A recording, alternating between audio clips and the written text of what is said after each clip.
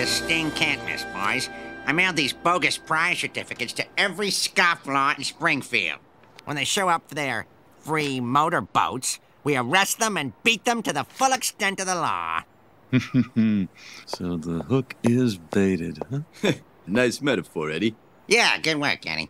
Up, up and away in my beautiful, my beautiful motorboat. Dun, dun, dun, dun, dun, dun. But we didn't enter any police raffle. That doesn't matter. The important thing is we won.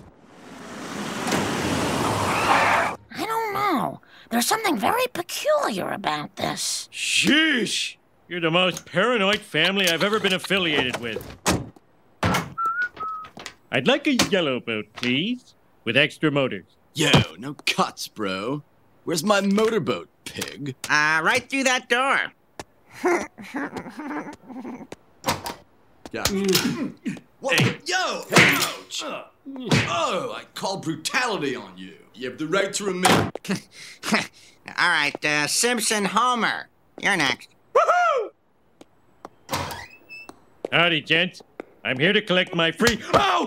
Oh, my boating arm! What's going on? You're under arrest, slime bag. What's this perp in for, Lou? Uh, 235 unpaid parking tickets, totaling $175. I hope you brought your checkbook, wise guy. You lousy cops. Lucky for you, I'm double parked right there. Now, can I please have my motorboat? Dad, why aren't you saying anything? Where's our motorboat? I didn't like it. The mast had termites. Why would our motorboat have a mast? Because the thingy was. Shut up.